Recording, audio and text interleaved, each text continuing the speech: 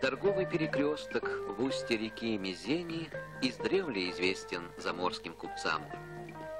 Мизенцы торговали мягкой рухлядью, пушниной, пенькой, рыбой, изделиями промыслов.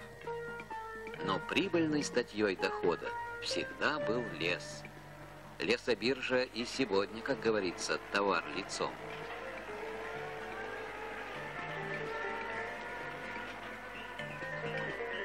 По вековым традициям собирает Мизень все флаги в гости.